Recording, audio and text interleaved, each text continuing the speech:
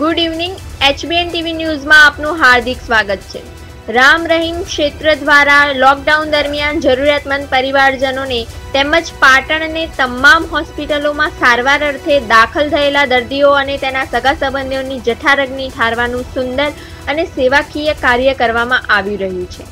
ત્યારે રવિવારના રોજ પાટણના ઇલેક્ટ્રોનિક તેમજ પ્રિન્ટ મીડિયાના પત્રકાર મિત્રોએ પણ ભૂખ્યાજનોને ભોજન પીરસીને સેવાકીય પ્રવૃત્તિમાં સહભાગી બનવાનો લહાવો લીધો હતો.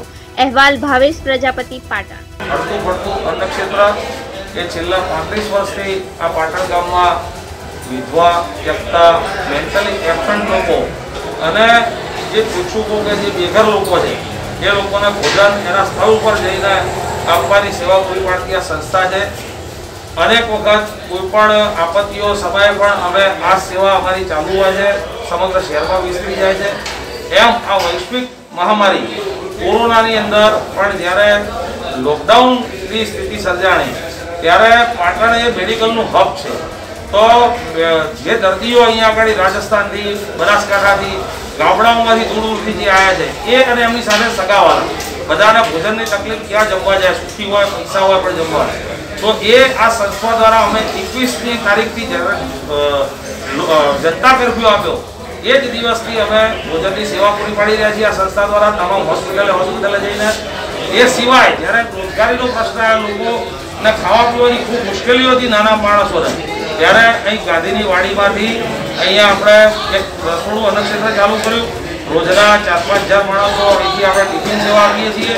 એ સિવાય સમગ્ર શહેરમાં ફરીને કોઈ વ્યક્તિ ભૂખ્યો સૂઈ ના જાય, એનો સતત પ્રયત્ન અમારી સંસ્થા દ્વારા અમે કરીએ છીએ. ખાસ તો અમે આભાર માનીએ છીએ દાતાઓનો. દાતાઓના ખૂબ સહકારથી અમે આ સંસ્થા આ રીતનું સેવા પૂરી પાડી રહ્યા છીએ, મારા વ્યવસ્થાપક મંડળ.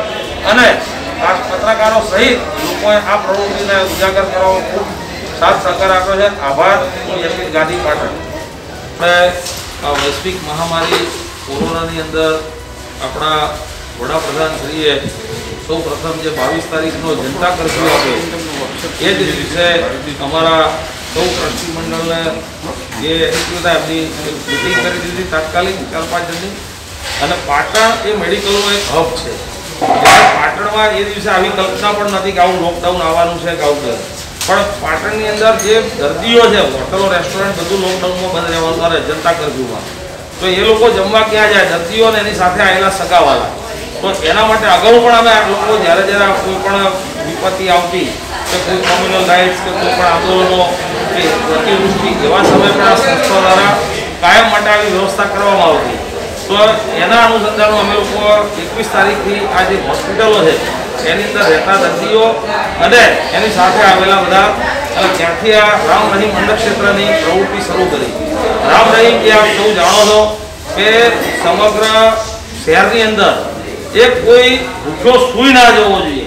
એની વ્યવસ્થા કરતી આ સંસ્થા છે અને આજે પાંત્રીસ વર્ષથી એ બને ત્યાં સુધી અમારા ધ્યાનમાં બી કોઈ આવે કે આ મેન્ટલી એબસન્ટ લુલા લગડા દિવ્યાંગજન કે વિધવા, ત્યક્તા, એને આપણે રેગ્યુલર તો રોજ લગભગ આપણા સાડા ત્રણસો, ચારસો લાભાર્થીઓ છે. પણ આ વૈશ્વિક કોરોના મહામારીની અંદર પછી તો લોકડાઉન આવ્યું. તો લોકડાઉનના પહેલા દિવસથી અને એની પહેલા એકવીસ તારીખથી આ સંસ્થા સમગ્ર શહેરમાં કોઈ પણ માણસ ભૂખ્યો ના રહે એની સાર સંભાળ રાખી રહી છે. અમે લોકો અહીંયા આગળ આ જે યજ્ઞ, સેવા યજ્ઞ શરૂ કર્યો. એની અંદર પછી જેમ જેમ આગળ વધતા કેમ વસ્તી પણ વધે ગઈ, કેમ કે બેરોજગારી, લોકોને ખાવા પીવાની ખૂબ મુશ્કેલીઓ હતી. તો અહીં ગાંધીની વાડી, જે સમાજની વાડી સંસ્થાને બિલકુલ ફ્રી ઓફ ચાર્જ વાપરવા માટે આપવાનું મળી ગયું અમને, તો અહીંયાથી એક રસોડું ચાલુ કરી દીધું. વધતા તમામ હોસ્પિટલોમાં આજની તારીખે પણ જે ટિફિન સર્વિસ છે, એ આપવાની ચાલુ છે સેવા.